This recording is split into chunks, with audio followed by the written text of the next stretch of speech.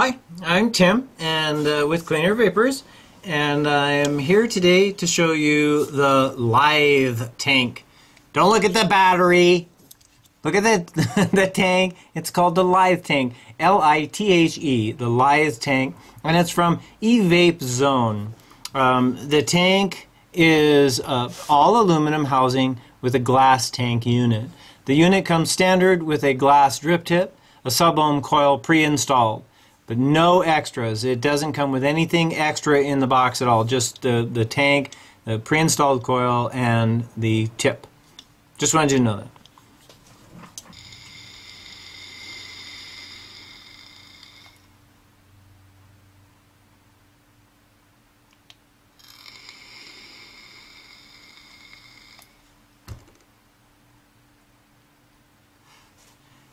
Kind of an it's kind of a noisy tank. Makes a lot of noise as you're like you know taking it in. Uh, Lithe tank. It's a bottom filled tank which holds about 2.4 milliliters of liquid. It has a very unique airflow, and um, it, obviously we'll look at it when we get to the bench. But the airflow is it's very tiny. It's like one hole on this side, one hole on that side. Um, it's a very lightweight tank. So uh, let's take the unit to the bench and find out what kind of tank we really have. We'll be right back. Hey, thanks.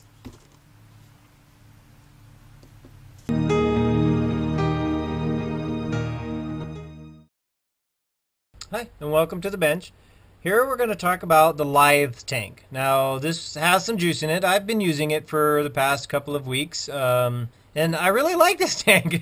I just thought this thing just kind of falls out. It's not. It's not uh, built very well, so uh, it it does have a tendency to just fall out a lot. Um, the unit itself, it does have a tendency to kind of leak a little bit, so you kind of get it all over your hands. But let, let me show you some about it. Um, the airflow system is is here, uh, and it's kind of like a teardrop on the inside with a little oval on the outside portion of it. Um, I'm gonna just kind of have to keep wiping it off because it's it's been sitting for a couple of days now. But what happens is it just kind of restricts it down. I'm not sure if you can actually see that or not, but it just kind of restricts it down and opens it up. And all the way open actually is closed. It kind of closes it off. So it's got to be just a little bit beyond that.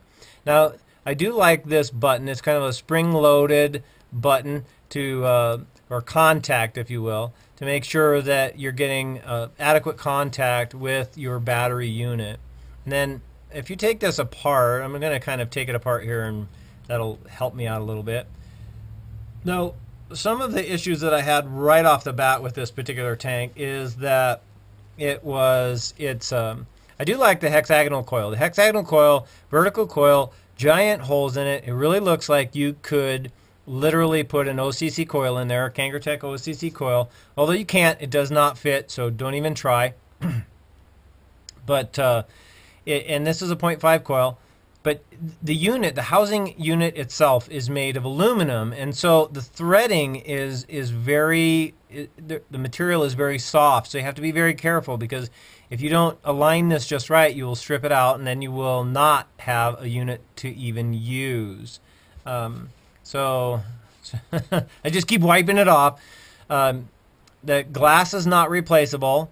So you can't just take it apart and put, put new glass on it, as far as I'm aware. I've tried just about everything I can. I think that that's all like swedged in there and it's not threaded in there.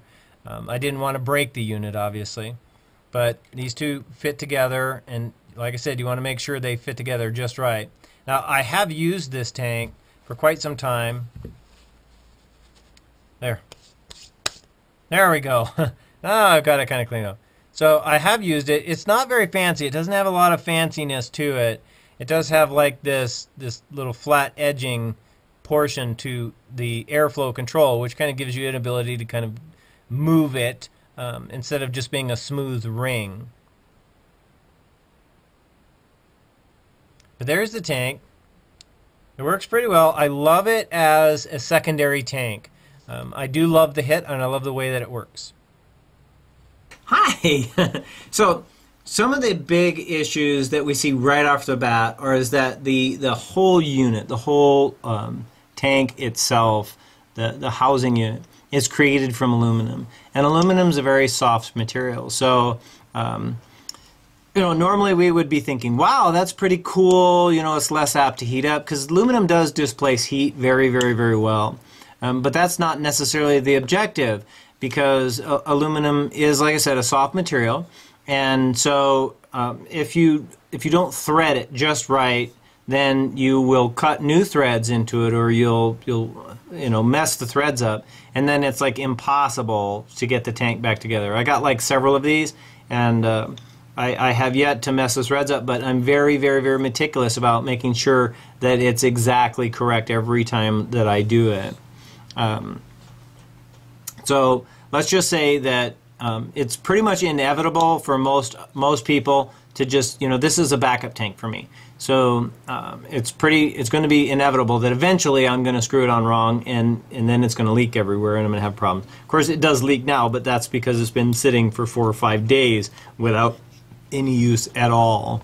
Um, the the drip pipe has a single O-ring on it. I I probably should have showed you that when we got um, to the table, but and and it's really not that tight to start with. So the dang thing, I, I, find this is falling off a lot, and I'm constantly having to to wipe it off, dry it off, try to get it back in there without making a mess. Um, it, it's just kind of a pain in the butt. It's quite a disappointment to me that that that is the way that it is, and it falls out quite a bit. So. Uh, the airflow is pretty noisy and it's not very open. So it's not like a very, it, it's not like many other tanks that you see today with giant airflows on it and you're just going to get as much air as you want. It's, it's quite well restrictive and it's very noisy as I said.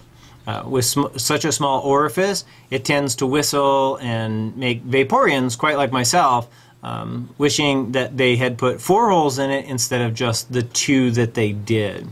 The tank does work well, however. Like I, I use it all the time. I, I especially use it as a backup tank whenever my, my first tank runs dry or my battery dies or whatever, and I just kind of have this set up on a on a different battery unit, and I'm burning about 30 watts.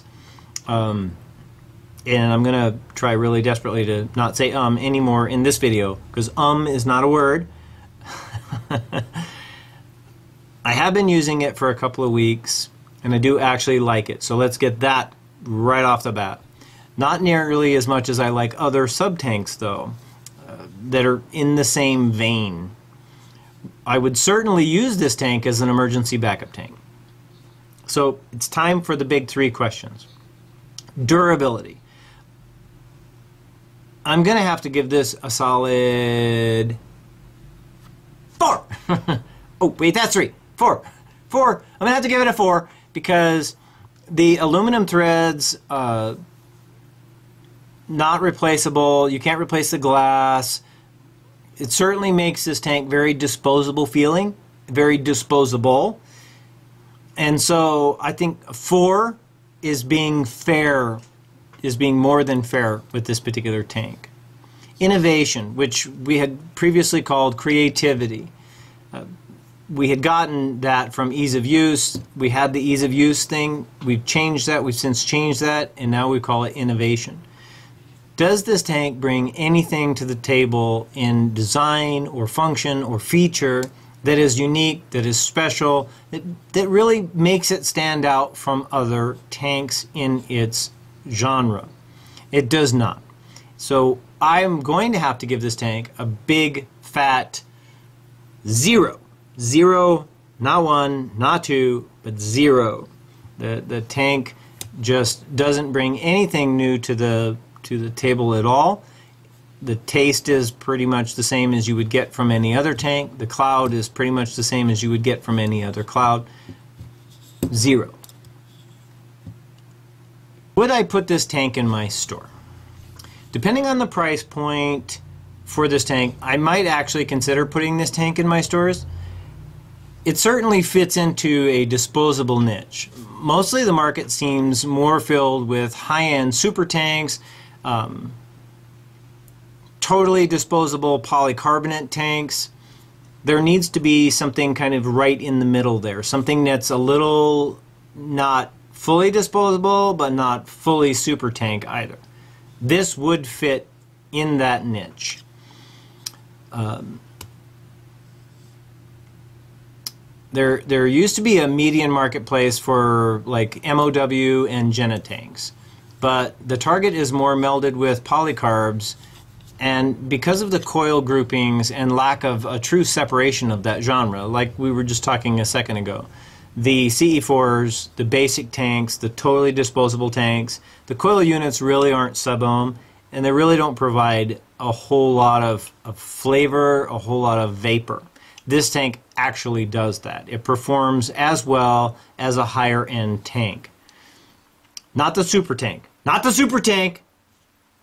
Just the better tank. So, um, this this tank actually seems to fill that void out there and presents a semi sub-ohm tank system that works rather well. So the answer to the question is probably yes. I, I probably, uh, you know, I could see this product on my shelves. And this ends another episode of the Vaporeon Fantastics. I am Tim Haid and wish you well. I thank you for watching this episode and, and hope you'll consider subscribing to my channel. Subscribe, subscribe, subscribe. Please subscribe. Um, don't forget, you can find us on Facebook, Instagram, Twitter, and Tumblr. Until next time, save a life and spread the word. Vape with pride. And don't be mean, vape clean. That's kind of like my tagline. I'm just going to keep saying that. Don't be mean, vape clean. Uh, you can also find us online. Our website is cleanairvapors.com. Our blog site is cleanairvaporsblog.com.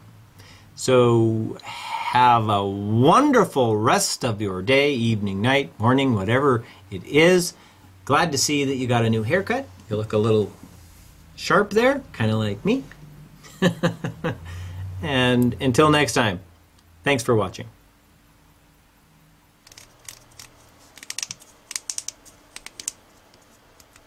Dang child-proof lids. How do you get these things off of here anyway?